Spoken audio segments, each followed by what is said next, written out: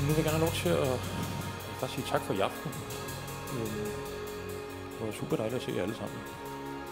Jeg kan selvfølgelig gerne spille det sidste nummer for jer, som er et nummer, der hedder øh, Sommer i december